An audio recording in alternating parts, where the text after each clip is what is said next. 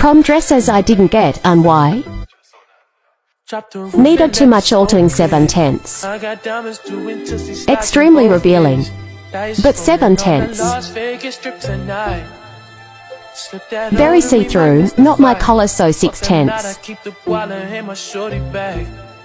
Back was so cute but the front was like a bridesmaid dress, 7 tenths.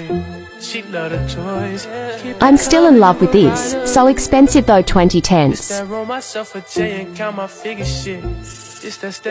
Just no, too tall for it 3 tenths. So cute, but washed me out, 9 tenths.